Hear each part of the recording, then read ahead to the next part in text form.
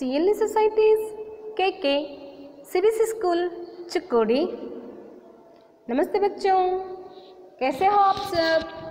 I hope के आप सब स्वस्थ और ठीक होंगे। है ना बच्चों? तो आइए आज हम यहाँ पर दूसरी कक्षा के बच्चों के लिए क्या सीखने जा रहे हैं? तो आज हम यहाँ पर अम और आह की मात्रा से या इन स्वरों से आने वाले शब्दों के बारे में हम सीखने जा रहे हैं। ओके तो ऑलरेडी हम यहाँ पर अम और आहा की मात्रा से जुड़े बहुत सारे शब्दों को हम सीख चुके हैं ना बच्चों? यस लास्ट क्लासेस में हम मात्रा अनुसार शब्दों के बारे में सीख चुके हैं ना? तो आज के इस क्लास में हम और क्या करने जा रहे हैं बच्चों?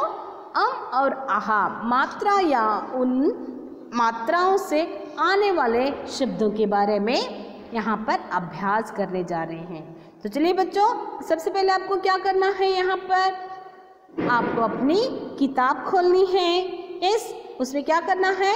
पेज नंबर ट्वेंटी सिक्स निकालना है। तो आइए बच्चों तो देखेंगे वहाँ पर क्या दिया गया है और हमें क्या सीखना है। तो चलिए, पेज नंबर ट्वेंटी सिक्स निकालिए और देखिए वहाँ पर क्या दिया गया है। ओके? तो देखिए बच्चों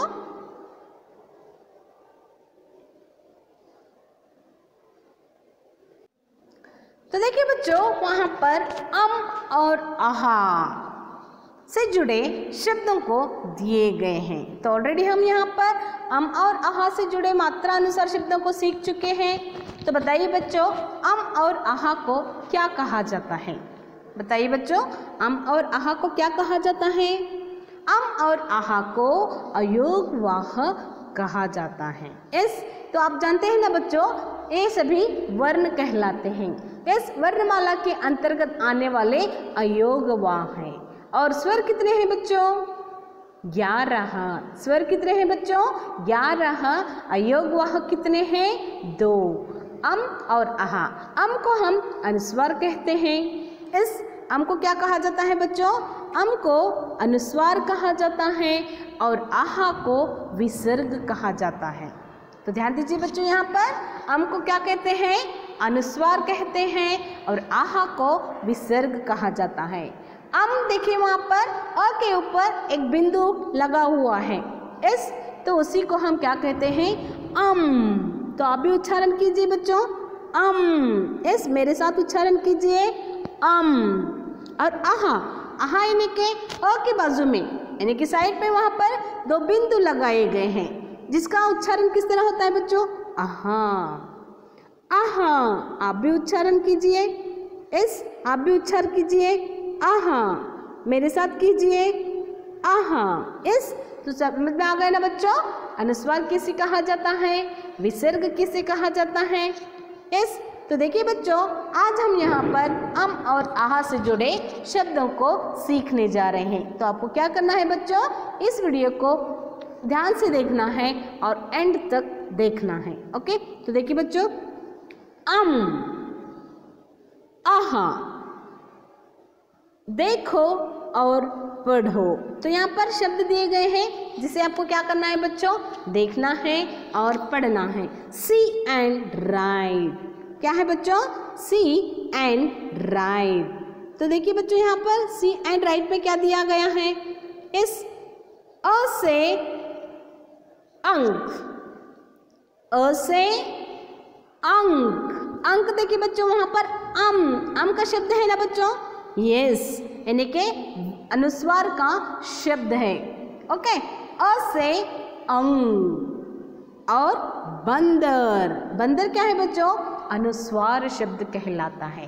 अंक जो है, यहाँ पर स्वर से या अनुस्वार से आने वाला शब्द है। लेकिन बंदर जो है, अनुस्वार, यानी के यहाँ पर मात्रा से, अम मात्रा से आने वाला शब्द है। जिसे हम क्या कहते हैं बच्चों?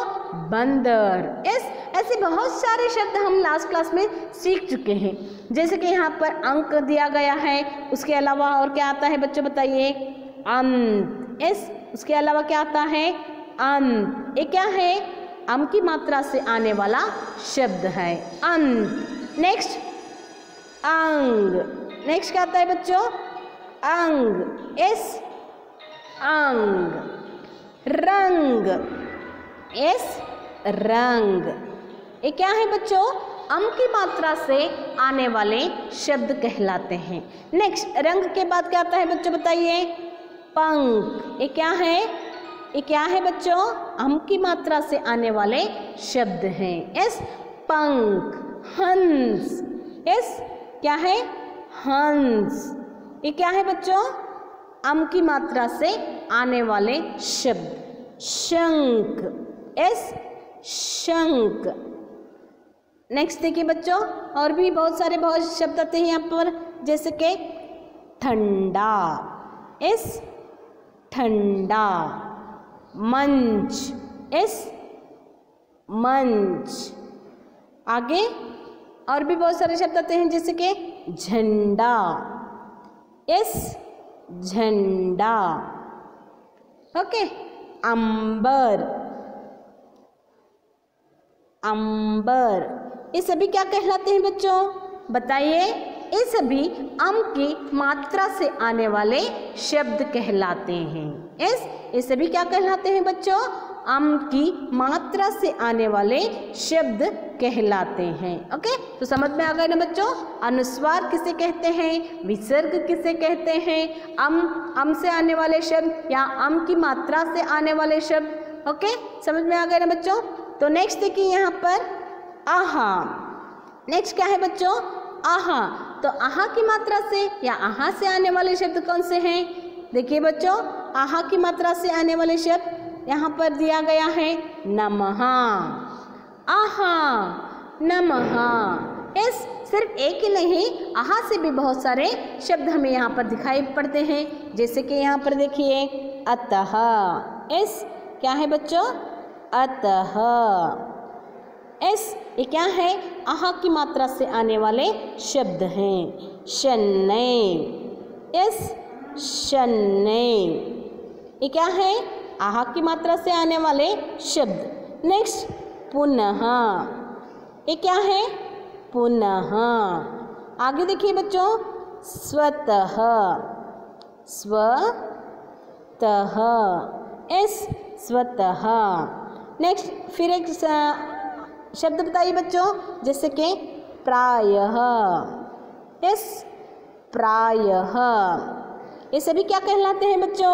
आहा की मात्रा से जुड़े शब्द कहलाते हैं, या आहा की मात्रा वाले शब्द कहलाते हैं, अंततः। यस नेक्स्ट कौन सा आता है बच्चों? अंततः। ओके और एक शब्द क्या है? क्रमशः। यस क्रमशः।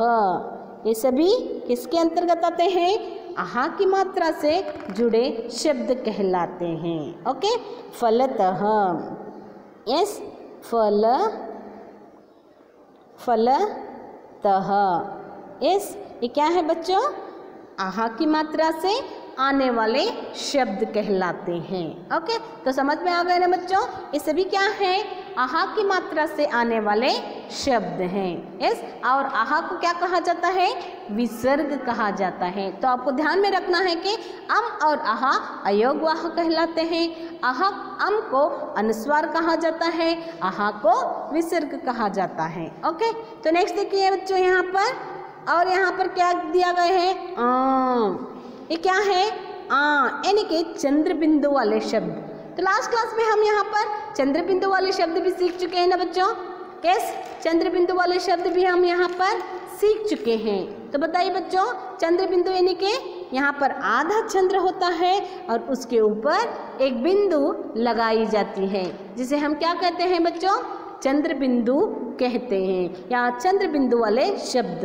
यानी कि यहाँ पर चंद्र बिंदु वाले शब्दों को उदाहरण उच्चारण करते समय मुँह और नाक दोनों से आवाज़ निकलती है। यानी कि मुँह के साथ साथ क्या होता है बच्चों? नाक से भी आवाज़ निकलती है। यानी कि, आहा, जैसे कि यहाँ पर चंद्र बिंदु को सॉरी चंद्र बिंदु का उच्चारण करते समय क्या होता है बच्चों? मुँह और मुँह के साथ साथ नाक से भी आवाज़ निकलती है। जैसे कि देखिए यहाँ पर उदाहरण में दिया गया है, चाँद। ये क्या है बच्चों? चाँद, यानी कि चंद्र बिंदु वाला शब्द है। एस चाँद, यहाँ पर ऊँट ऊँट दिया गया है। ऊँट भी क्या है बच्चों? ये चंद्र बिंदु वाला शब्द है। यस तो लास्ट क्लास में हम सीख चुके हैं ना बच्चों चंद्र बिंदु के शब्दों को। तो बताइए बच्चों चंद्र बिंदु वाले शब्द कौन कौन से हैं? जैसे कि यहाँ पर आँख। आँख क्या है बच्चों? ये भी क्या कहलाता है? चंद्र बिंदु वाला शब्द कहलाता है। आँख पाँच। इस पाँच ये चंद्र बिंदु वाले शब्द है। और चंद्र बिंदु का जो यहाँ पर साइन होता है, देखिए, इसे आधा चंद्र और उसके ऊपर एक बिंदु के आकार में लगाया जाता है। इसे हम क्या कहते हैं बच्चों? चंद्र बिंदु कहते हैं। ओके तो समझ में आ गए ना बच्चों? तो लास्ट क्लास में हम यहाँ पर चंद्र बिंदु वाले शब्दों को भी हम सीख चुके हैं। ओके तो चलिए बच्चों, आशा करती हूँ कि आज का यह क्लास आपकी समझ में आ चुका होगा। तो आपको क्या करना है बच्चों? आज के इस क्लास पर आधारित आपका ग्रह कार्य क्या है? अम और आहा की मात्रा से जुड़े शब्दों को लिखना है। और यहाँ पर जो चंद्र बिंदु का चंद्र बिंदु वाले शब्दों को भी आपको क्या करना है बच्चों? लिखना है और पढ़ना है, ओके? आई होप कि आज का यह क्लास आपकी समझ में आ चुका होगा। तो चलिए बच्चों, इस क्लास को यहीं पर समाप्त करते हैं। नेक्स्ट क्लास में हम फिर मिलेंगे, okay? Bye bye take care